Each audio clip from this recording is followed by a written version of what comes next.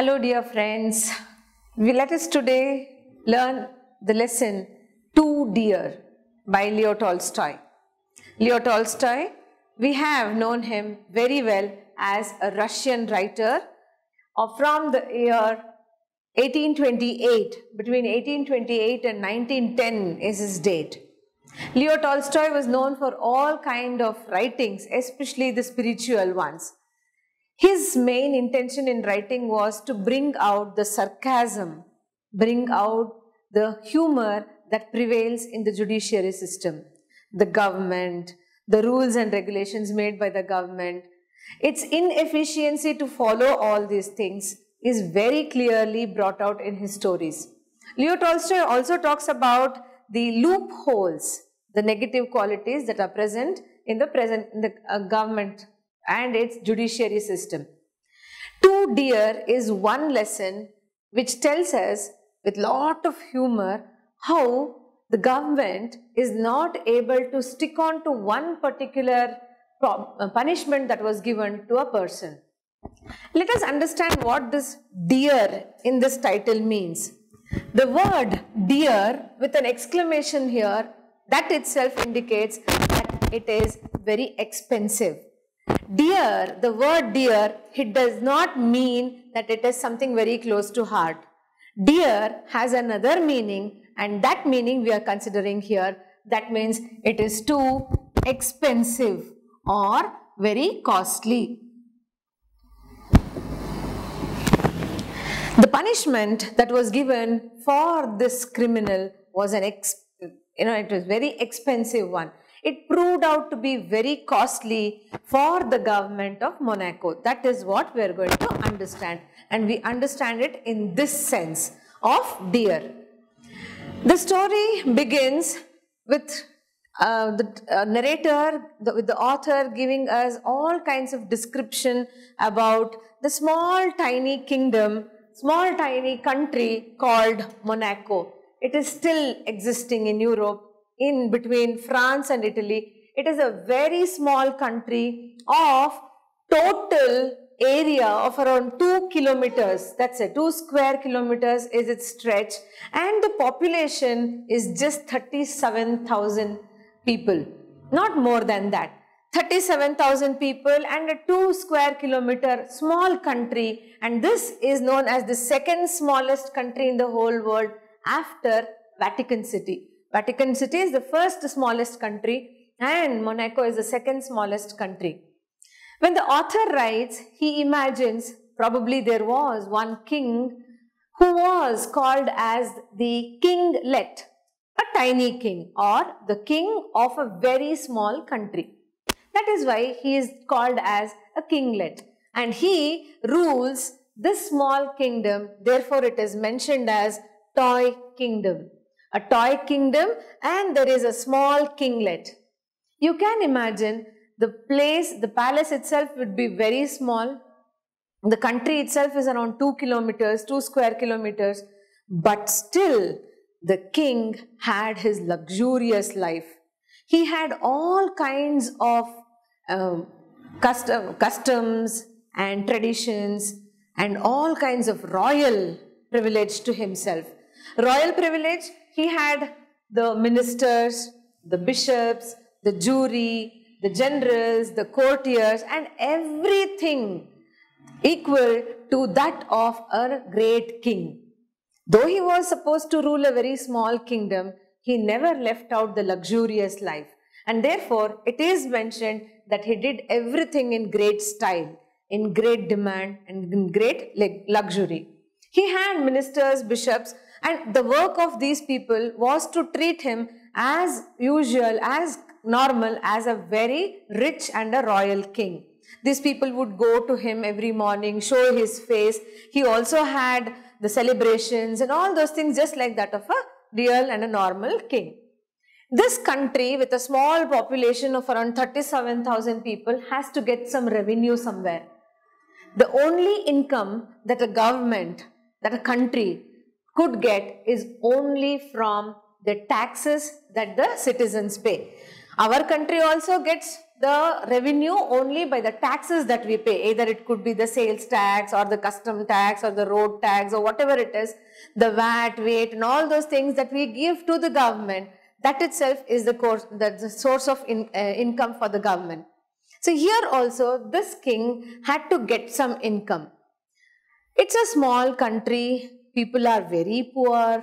People don't, don't have any kind of work, but still they had to pay. The only source of income and the only place where uh, the king would levy heavy taxes was in liquor and spirits. So it was the drink or the wine and whiskey and the hot drinks and also through spirits. This king would get a lot of income. So the people stopped drinking. People stopped smoking. So that was the only way he could get the uh, uh, source of income through smoking, through the cigarettes and through the uh, spirit. Spirit is nothing but the wine or the whiskey that they drink, the hot drinks. So he could get that. Not many of them were drunkards or not many of them would smoke. So the revenue again it decreased. The king started thinking about different methods of getting revenue. Then there started the roulette or the gaming houses. Gaming houses in throughout the Europe it is banned. It is completely prohibited. Nowhere in Germany you can see the gaming houses and nowhere in Switzerland, nowhere in any other country, Italy, France, everywhere these gaming houses have been prohibited. They have been banned completely except in this country, Monaco. Even today, Monaco is one of the second largest gaming houses. Do you know which is the first one? Do you know which is the place where they have lot of gaming centers, where they have this gambling? It is in Texas. It is in that place where they have lot of uh, gaming houses that is done. So they have lot of uh, color and all those things. They have lot of income over there. So roulette was one of the most important or this gambling on the gaming houses was important income for the uh, country here. So apart from spirits, cigarettes and all those things, he started getting more money from the roulette houses or the gambling centers. The gambling centers, the people who would run them, they had to pay half of their benefit to the king as a profit, and the profit as the uh, tax. That was the income. So whatever the income that the gaming house person would get, half of it he would give it off to the king here and that was a very generous, that was a huge source of income for this king. It so happens, um, no, the life goes on like this, he's getting lot of income and through this income he is maintaining his own standard and dignified life. He is maintaining the ministers, the bishops, the jury and all those things. They even they have to get a salary also. He also, you know, something, he also had a army of around 60 men. Okay, 60 men were in his army and they, they were also fed very well. Everything went on fine. The king also was leading a very luxurious life with all the money that he would get. It so happens life is moving on happily. Once in a gaming house, there is a murder. And the murderer, probably in the heated argument that he has lost the money or something like that, he has lost his senses to temper. He has become very angry and therefore he has killed a person. And this one, this was a murder that had occurred. Usually it is said in the uh, lesson uh, by Tolstoy that the kingdom, the people of Monaco, they are peaceable, they are peace loving and lovable people. They are very calm, quiet to themselves, they don't go to these fights, arguments, nothing like that. But when a murder occurs, everybody is surprised. More than the citizens, the king is surprised because he doesn't know how, doesn't know how to handle this case.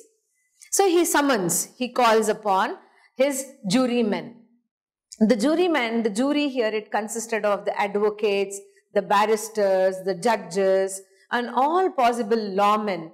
All of them were summoned. Summoned andre, they were called. They were called upon. They all had a meeting. They wanted to discuss how to solve this case or what punishment to be given to this murderer.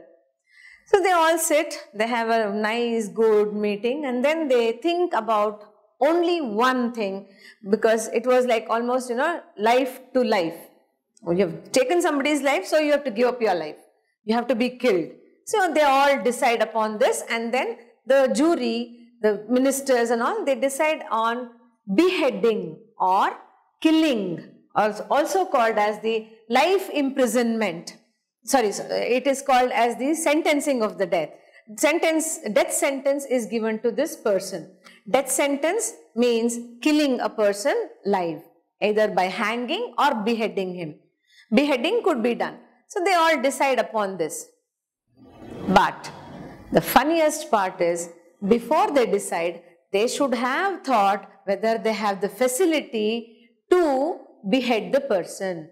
They did not have any facility. That was the hitch in the government. That was a main problem in the government. And this hitch or the problem was that the kingdom did not have anything, any possible facility for death sentence. We, the Monaco kinglet, he wanted a guillotine, guillotine to put the uh, murderer into death sentence.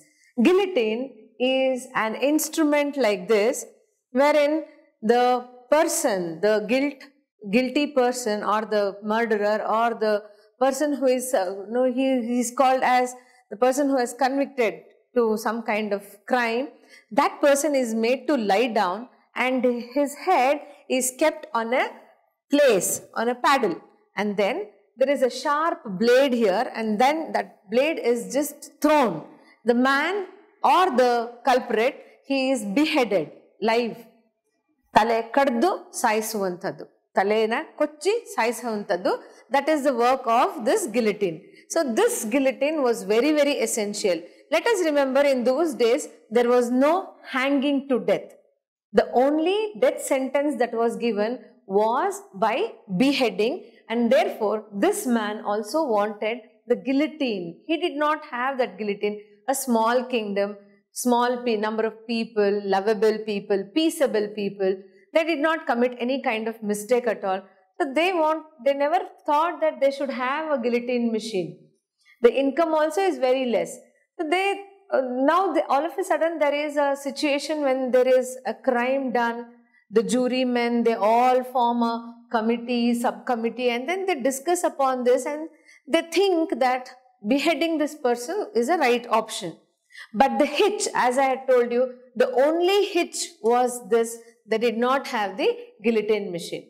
So finally they all again decide, the king also decides and they think of another option. They can go to the neighboring country, that is the French government, and request them to send or to give only for hiring the guillotine machine. Along with the guillotine machine, there should be an expert who is uh, very well versed in beheading the person. normal people like you and me cannot do the slaughtering, cannot do the beheading. It has to be an expert and therefore this man who uh, handles with the handles the guillotine machine is called an executioner. This executioner also was very essential so they wanted the French government to give them a guillotine machine plus the executioner who would be doing the job in a very neat and good fashion. The French government, they accept this, but the rent that they uh, offer, uh, the money that they demand is 16,000 francs. And this one was a too huge amount. Imagine a very small country with very few population and absolutely no income at all. And these people, they have to only for one guillotine machine and only it is one time use. After that, they have to give it back the guillotine machine. They have to send back the executioner. For this, they are paying 16,000 francs.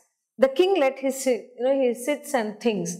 If he says yes, again this money, 16,000 francs, he has to again burden his people with lot more of tax. That means at least 2 francs more per head. He will understand that the people will not pardon him for that. They will not forgive him if they again ask more money. So he says, no, no, no, let us not have this from the French government. Let us ask another neighboring country, that is the Italian government. The, he also has an opinion that the Italy government is another monarch country.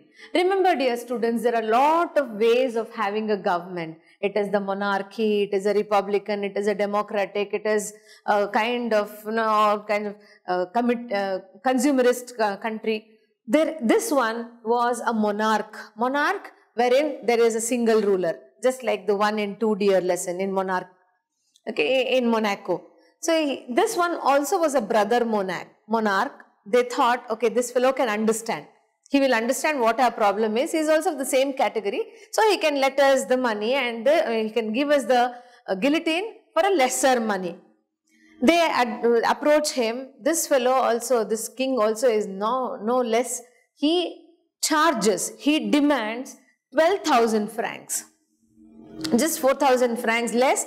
But again, for the tiny king, uh, kinglet, kingdom and this uh, kinglet, 12,000 francs is too much.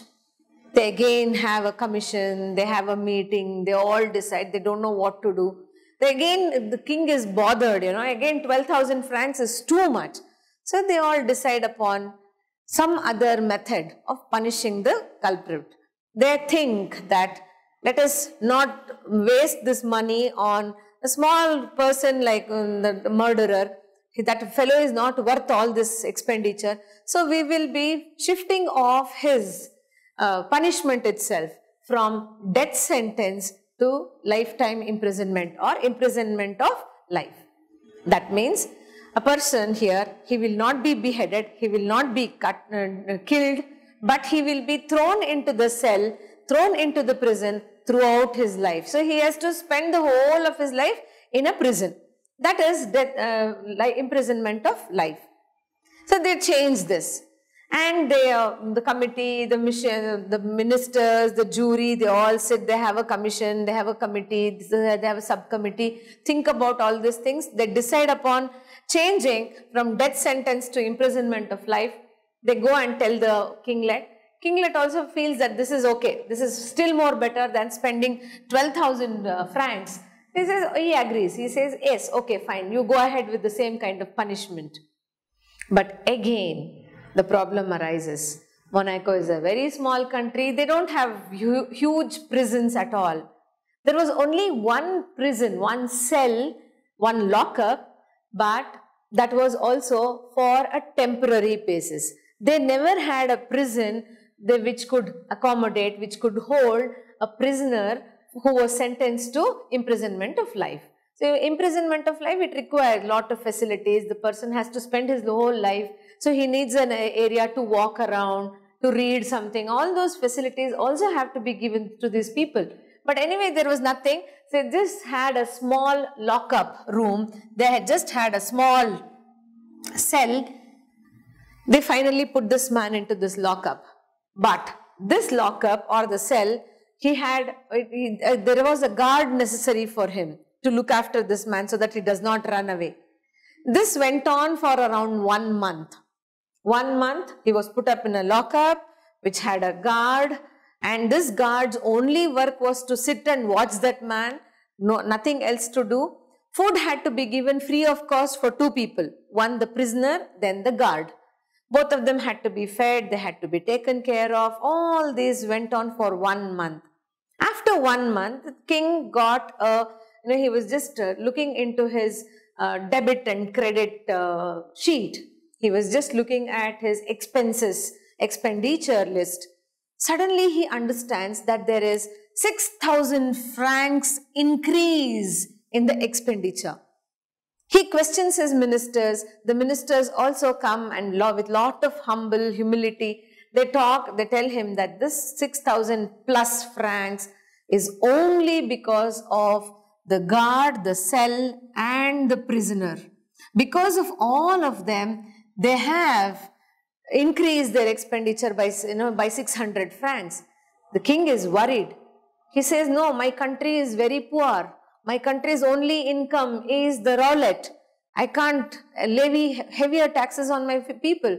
So do something so that this fellow will not be uh, enjoying this kind of luxurious life.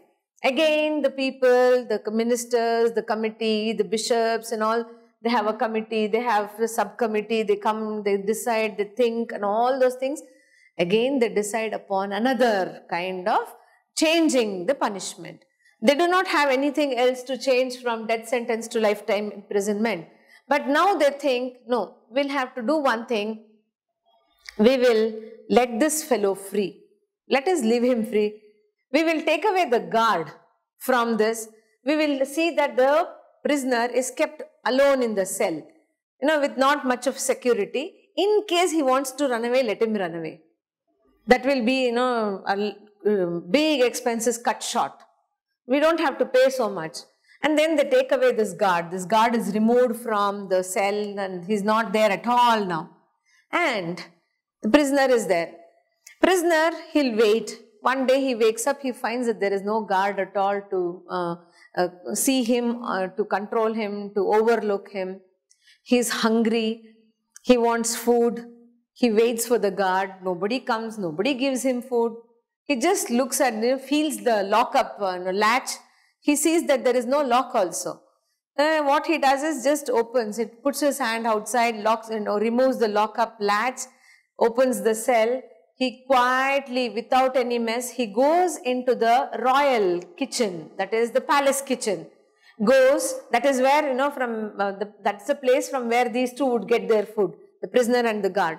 So he himself, he walks to the royal kitchen, he gets his food, brings back to the cellar, happily sits there, locks himself up and eats his food and sleeps. The people are worried. They thought this man will run away because there is nobody at all to look him after. They thought this fellow would elope, he would go away. But the case went the other way. Again, the next day also they saw, they waited, they wanted to see what this prisoner would do. Again, the next day also the same thing was repeated. He went out to the royal kitchen, he brought his food, locked himself very quietly, very neatly, like a very humble student. He just locks him up, sits there, has his food and then sleeps off. He did not even show a single sign of escaping. That was the more concern. That was the worry for everybody in this committee. They thought this man will run away. He doesn't go at all. So they come and ask him, my dear brother, why don't you run away? We are letting you free. The king will not mind if you run away from here. Why don't you go away? Then this fellow says, no, why should I run? Why should I run? You tell me. And where should I run to? It's almost a year that I'm staying with you people. And where should I run now? I don't have any place to go. I don't, I can't go anywhere at all. See, there are, he, he gives out his point. He says there are three reasons why I shouldn't be going out. One thing is you have spoiled my name. My reputation is gone. Now what will people think when I go out? They will always call me as a prisoner. They will uh, talk behind my back. They will not give me any kind of job. I'll have lost respect in the society. One thing. Second thing is, who will trust me? Who will trust me and give me a job? Because I'm already been branded, labeled as a prisoner, as a murderer. So I'll get no job at all. Third thing, one year and even my family will not accept me at all. I have no place to go, so I'm not going anywhere. I'm very happy here. And he also questions the ministers. He says, who asked you to change my death sentence to imprisonment of life? Did you ask me?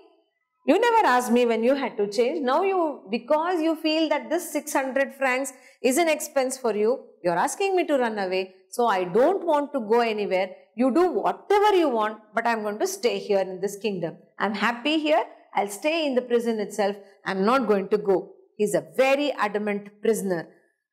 Again, the people in the committee, they come, they summon, they all meet, they have a gathering, they have, they form a subcommittee, they all decide they don't know what to do.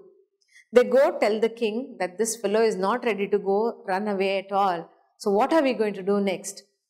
The king, he decides, he says, okay, we'll do one thing. The only way, we've, we've done a lot of mistake, uh, putting him to death sentence, changing it to imprisonment of life and putting him in a small cell, uh, spending so much of money. We have been doing a lot of mistakes in our life. We'll do one thing. We will give him a kind of pension of 600 francs per year. and then we will let him free. So this what is what Leo Tolstoy wants to say. This is the funniest part. This is the loophole that he finds in the judicial system. If you are not capable of it, you shouldn't be giving that kind of punishment at all. So he says, okay, we will just give him off 600 francs and then we will let that person go free. We will free him off. What else the prisoner wanted? He was very happy. He says, yes, in that case, I am going.